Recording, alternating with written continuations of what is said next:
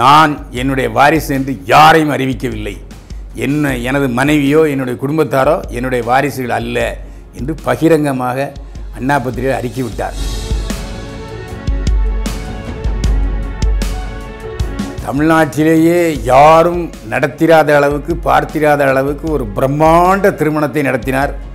அங்கே விழுந்துச்சு அவர்களுடைய புகழின் வீழ்ச்சி எங்கே விழுந்துச்சுன்னா அந்த கல்யாணத்தில் மணமகளின் பாட்டனார் நடிகர்களை சிவாஜி கணேசனையும் மேடைக்கு அனுப்பல. கீழே உட்கார வச்சிட்டு ஜெயலலிதா. அந்த அளவுக்கு அழிச்சாட்டியம் செய்து முதல்வர் என்கிற என்கிற அகங்காரத்தோடு நடந்து கொண்டார் ஜெயலலிதா.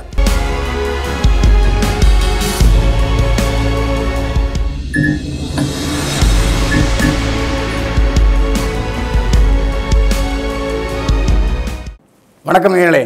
இது தமிழ் மின் சேனல் வழங்கும் பைல்வான்ஸ் வியூ.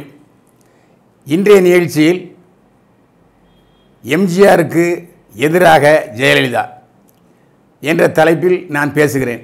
இந்த தலைப்பில் கொஞ்சம் மாற்றம் இருக்குது அதாவது எம்ஜிஆருக்கு எதிராக எண்பது சதவீத பிரச்சனைகளில் விஷயங்களில் எதிராக செயல்பட்டார் ஜெயலலிதா. அதே சமயத்தில் புரட்சியாளர் எம்ஜிஆர் முதல்வராக இருந்தபோது விவேகத்துடன் செயல்பட்டார்.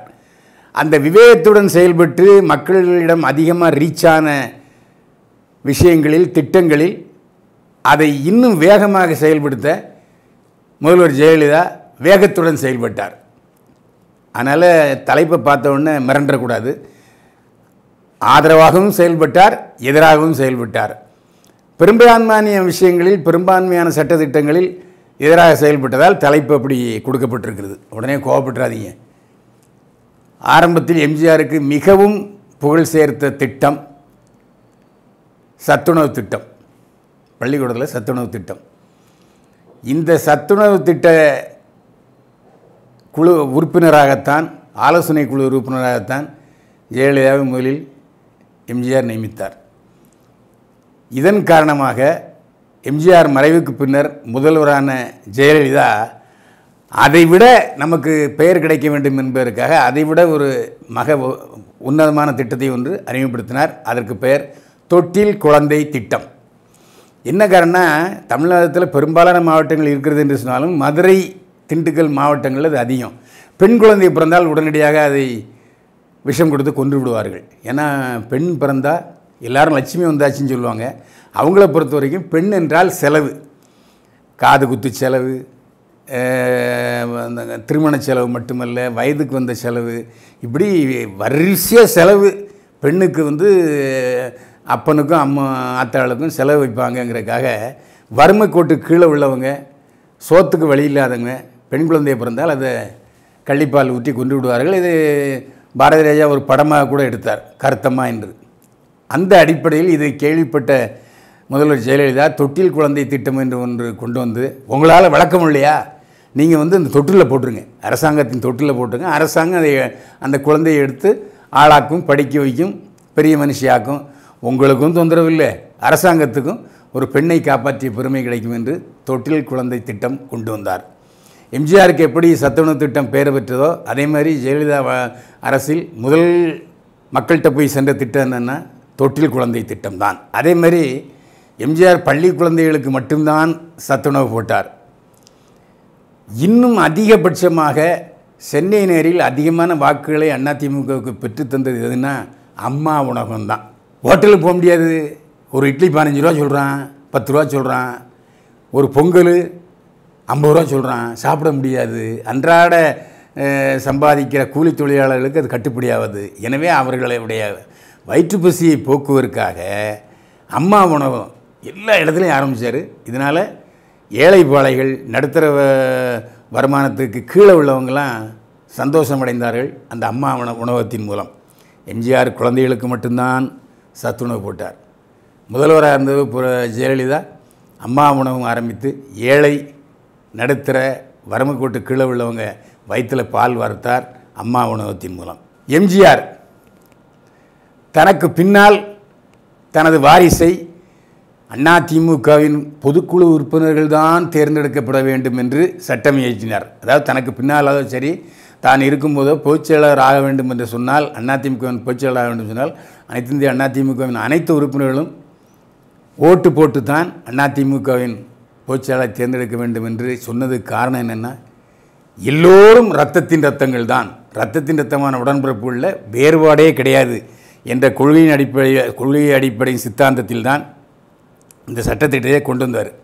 அது மட்டுமில்லை ஒரு முறை எம்ஜிஆரின் வாரிசு எம்ஜி சக்கரபாணின்னு ஒரு போஸ்ட் அடித்து விட்டுனாங்க அவரை பல கூட்டங்களை கூப்பிட்டாங்க. உடனடியாக எம்ஜிஆர் அறிக்கை விட்டார். எனது அண்ணன் மகன் சக்கரபாணியின் மகன் எம்ஜிசி சுமாரை என்னுடைய வாரிசு என்று சொல்கிறார்கள். நான் என்னுடைய வாரிசு என்று யாரையும் அறிவிக்கவில்லை. என்ன எனது மனைவியோ என்னுடைய குடும்பத்தாரோ என்னுடைய வாரிசுகள் அல்ல என்று பகிரங்கமாக அண்ணா பத்திரிகை அறிக்கை விட்டார். ஆனால் முதல்வர் ஜெயலலிதா அதிமுக பொதுச்செயலாளர் ஜெயலலிதா நேர் மாறான கருத்தை எம்ஜிஆருக்கு எதிரான கருத்தை கொண்டார். எப்படின்னா தன்னுடைய உயிர் தோழி சசிகலாவின் உறவினர்கள் அத்தனை பேரையும் கோடீஸ்வரனாக்கினார் கட்சிக்கு சம்பந்தமே இல்லாத மகாதேவனை ஜெயலலிதா பேரவையின் பொதுச்செயலாளராக நியமித்தார். கட்சிக்கு சம்பந்தமே இல்லாத ஸ்நான பிராப்தியே இல்லாத டிடிவி தினகரனை தேர்தலில் போட்டியிட வைத்து நாடாளுமன்றத்துக்கு எம்பியாக அனுப்பினார் ஜெயலலிதா. அது மட்டுமல்ல ஜெயலலிதா சசிகலாவுடைய உறவினர்கள் அனைவருக்கும் பதவிகள் கொடுத்தார். சில மாவட்டங்களின் அதிமுகவின் பொறுப்பை கூட சசிகலாவின் உறவினர்கள் தான் ஏற்றுக்கொண்டார்கள். சசிகலா உறவினர்கள் வைத்ததுதான் சட்டம். சசிகலா உறவினர்கள் சொன்னதைத்தான் அதிமுக அமைச்சர்கள் கேட்க வேண்டும் என்கிற எழுதப்படாத சட்டத்தை கொண்டு வந்ததே சசிகலா தான்.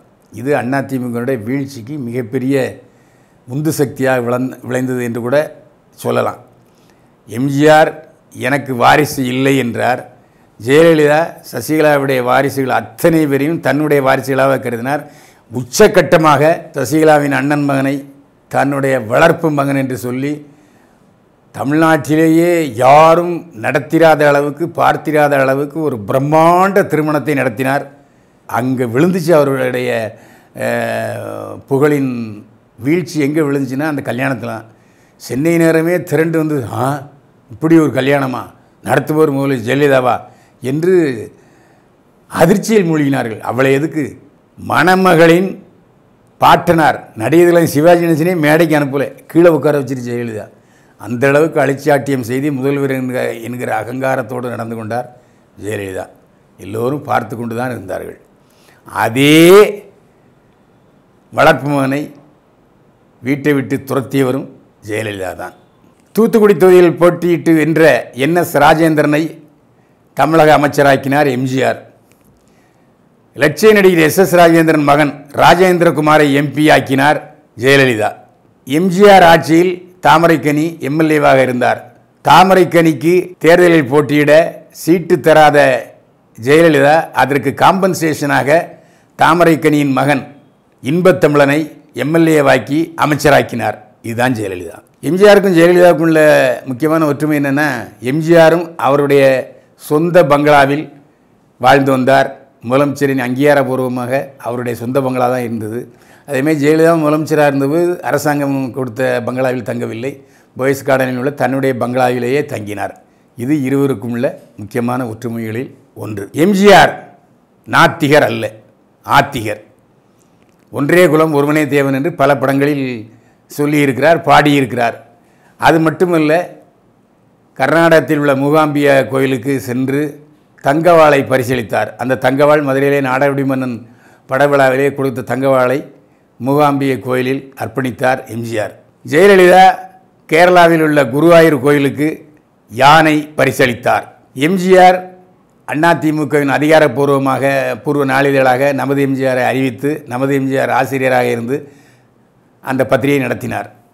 ஜெயலலிதா நமது எம்ஜிஆர் என்ற பத்திரிகை ஆரம்பித்து அதற்கு ஆசிரியராக இருந்து அதிமுகவின் அதிகாரப்பூர்வ நாளிதழாக நமது எம்ஜிஆர் பத்திரிகையை அறிவித்தார் ஜெயலலிதா.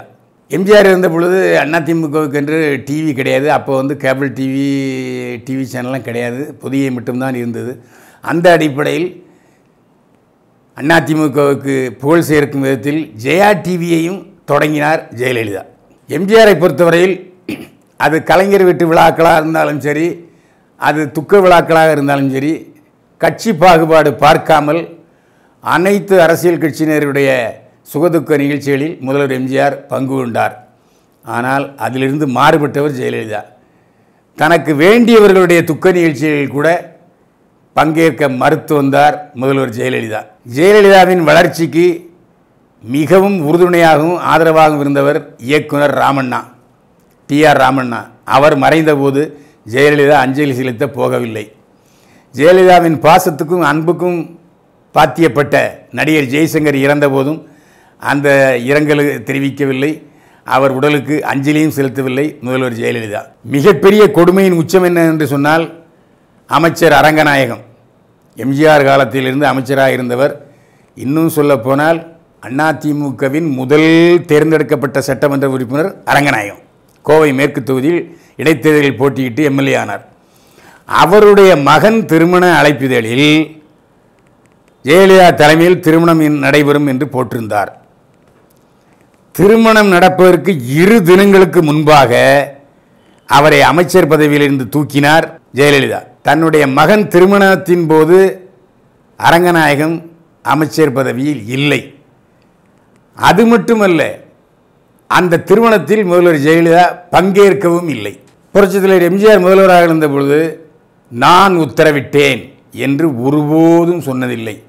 அண்ணா திமுகவின் அரசு உத்தரவிட்டது என்று தான் சொல்லுவார் எந்த உத்தரவிலும் அரசு உத்தரவில் நான் என்ற வார்த்தையை பிரயோஜனப்படுத்த மாட்டார். இது அண்ணாவின் அரசு என்று சொல்லுவாரே தவிர இது என்னுடைய அரசு அதிமுக அரசு எம்ஜிஆர் அரசு என்று ஒருபோதும் சொன்னவில்லை இது அண்ணாவின் அரசு அண்ணாவின் அரசு என்று திரும்ப திரும்ப அறுதியிட்டு உறுதியிட்டு பேசி வந்தார் முதல்வர் எம்ஜிஆர்.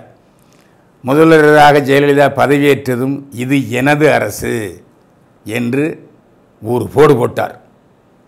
அது மட்டுமல்ல நான் உத்தரவிட்டேன் நான் பிரதமரிடம் பேசினேன் நான் இந்திரா காந்தியிடம் பேசினேன் என்று தான் சொன்னாரே தவிர அதிமுக அரசு நாம் என்று ஒருபோதும் சொன்னதில்லை. ஒருமையில் எல்லா புகழும் இறைவனுக்கே என்று சொல்வார்கள். அந்த அடிப்படையில் எல்லா புகழும் ஜெயலலிதாவுக்கே என்கிற அடிப்படையில் இது எனது அரசு என்பதில் மிகவும் உறுதியாகவும் தெளிவாகவும் இருந்தார் ஜெயலலிதா. எம்ஜிஆர் முதல்வராக இருந்த பொழுது பேரறிஞர் அண்ணாவின் படத்தையும் தன்னுடைய படத்தையும் பிரசுரிப்பார். இது வழக்கம். ஏன்னால் அண்ணாவின் அரசு என்று சொல்வதன் காரணமாக அண்ணாவின் பிரதிநிதியாக நான் எம்ஜிஆர் ஆட்சி செய்து வந்தார் இந்த அடிப்படையில் அரசு விளம்பரங்களில் அண்ணா படமும் இடம்பெற்றது எம்ஜிஆர் படமும் இடம்பெற்றது. ஜெயலலிதா முதல்வரான பிறகு ஜெயலலிதா படம் மட்டும்தான் இடம்பெற்றது. அதில் முக்கியமான விஷயம் என்னென்னா அமைச்சர் சம்பந்தப்பட்ட அமைச்சர் படம் கூட இடம்பெறாது. நான் நமது எம்ஜிஆர் பத்திரிகையில் வேலை வேலை செய்தேன். நமது எம்ஜிஆர் பத்திரிகையில் அமைச்சர்களுடைய போர்ட்ரேட் சின்ன சிங்கிள் காலம் படம் கூட வைக்கக்கூடாது. ஜெயலலிதா படம் மட்டும்தான் இருக்கும். அதேமாரி அதிமுக உறுப்பினர்கள் அமைச்சர்கள் யார் விளம்பரம் கொடுத்தாலும் சரி ஜெயலலிதா படம் மட்டும்தான் பெரிதாக இருக்க வேண்டும். இது ஜெயலலிதாவின் நிபந்தனை.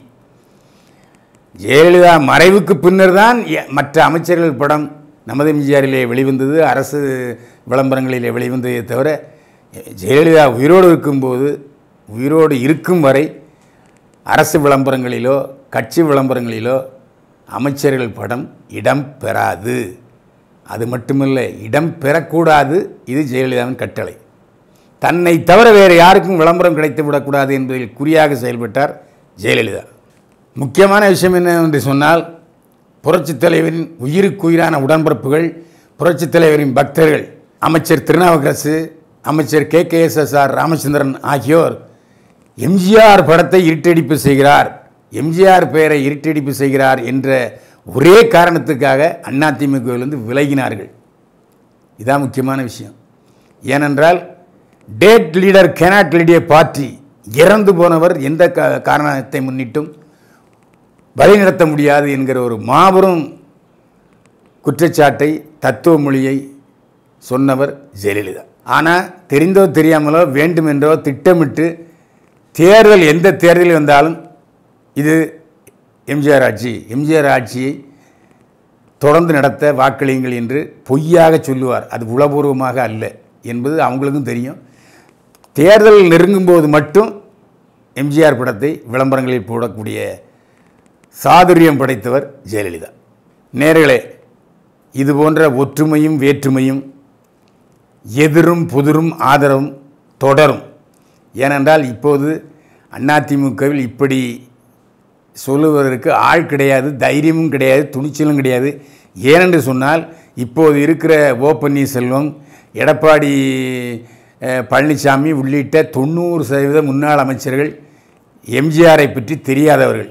குறிப்பாக சொல்ல வேண்டும் என்று சொன்னால் ஜெயலலிதாவின் கொத்தடிமைகள் ஜெயலலிதாவின் ஜால்ராக்கள். இந்த நிகழ்ச்சி தொடரும். அதுவரையில் உங்களிடமிருந்து தற்காலிகமாக விடைபெறுவது புரட்சித் தலைவர் எம்ஜிஆரின் பக்தன் பைல்வான் ரங்கநாதன். வாழ்க வளமுடன்.